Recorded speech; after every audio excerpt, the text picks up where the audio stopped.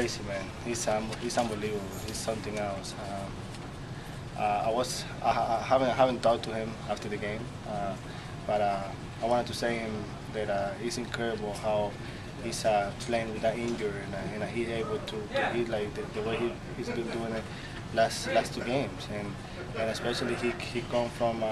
Uh, uh, I think it was a week and a half uh, off, and other song he got uh, four hits in, in, in, two games. That's that's huge. So uh, we, we, need him, and, and it's good to see him back in the lineup. How much of a lift does that give the team after you know long plane fly, 13 inning game, but last two games you come back and win?